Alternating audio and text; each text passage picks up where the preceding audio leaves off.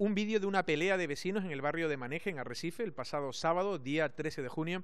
Corrió este fin de semana como la pólvora en las redes sociales por la brutalidad de las imágenes. Al parecer se trató de una disputa entre familiares a cuenta de la ocupación de una vivienda que ha acabado con una denuncia en la policía y con la fijación, al parecer, de un juicio el próximo día 15 de diciembre contra la persona que golpeó en varias ocasiones con un palo a su prima. El vídeo que corre por las redes sociales puede ser fundamental a la hora del juicio, dado que en él se ve prácticamente toda la secuencia de la trifulca en plena tarde en una calle del conocido barrio arrecifeño.